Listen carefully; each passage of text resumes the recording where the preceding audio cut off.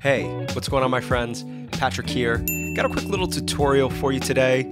Now, most of us know how to screen record on a Mac using QuickTime, but let's say you want to screen record while also recording the internal audio from your computer or the playback from your digital audio workstation. How do you do that? It is a little bit of a tricky setup, but not to worry, I've got you covered. So if you want to record any kind of content where you're showcasing a recording session in your DAW, or you want to record a tutorial, this setup will allow you to do that.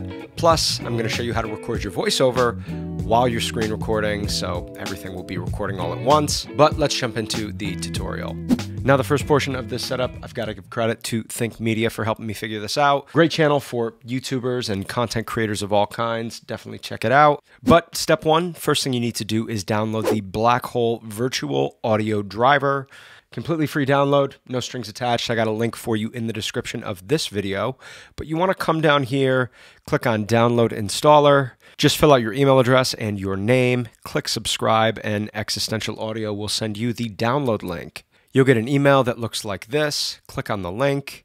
Of these three download options, go ahead and download the Blackhole 16 channel version. I'm pretty sure any of these versions would work, but the 16 channel is the one that I've tested, so go ahead and download that one. You then want to run the installer, go through all the steps, and install the audio driver. So for step number two, you want to open up your audio MIDI setup. Just go into Finder, search for audio MIDI setup and open the application. And once the application is open, you want to come down here to this little plus sign and you want to create an aggregate device. From there, you want to select use Blackhole 16 channel and then click on the word aggregate device and then rename this something like QuickTime Player Input, a title that's going to help you remember that this is the input that you'll use when screen recording within QuickTime. Next, click the plus sign one more time, but this time you're going to create a multi-output device.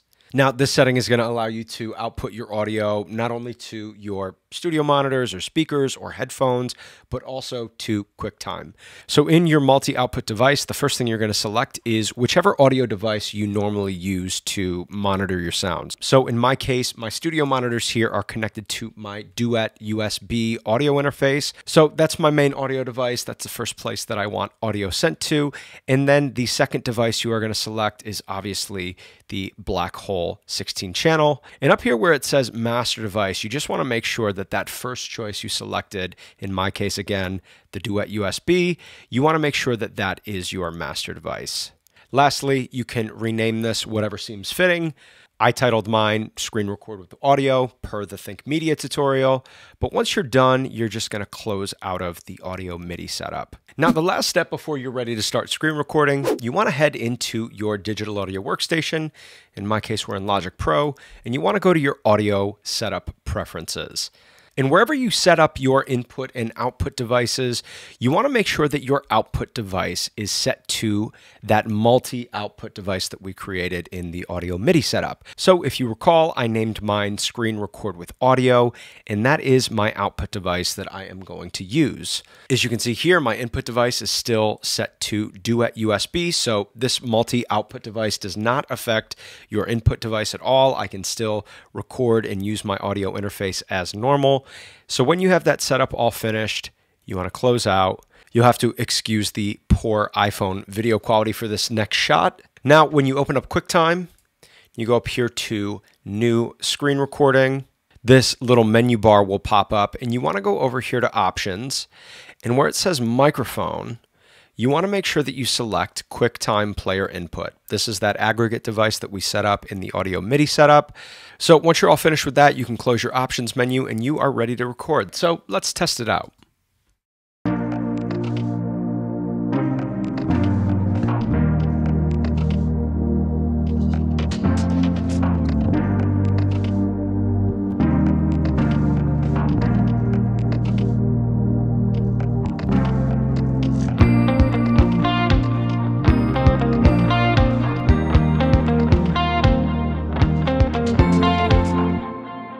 Well, there you have it. screen recording while capturing the internal audio from your computer slash the playback from your digital audio workstation.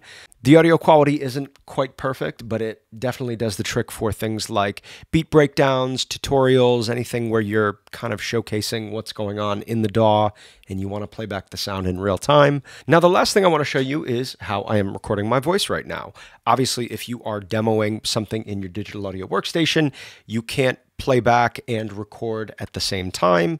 Personally, I like to use the Voice Memos app on iOS. You can see here I've been recording my voice using Voice Memo this whole time. If you have a portable recorder or you like to use a microphone that's plugged into your camera, something like that, that works totally fine too. For me, I just like being able to record with the Shure SM7B while I'm doing these demos and tutorials. So recording into Voice Memos is a nice little workaround that's worked really well for me. But that's going to wrap up today's video, my friends, and this little tutorial. I hope you found this setup useful. Definitely let us know in the comments below if you have found a similar setup or something that works really well for you.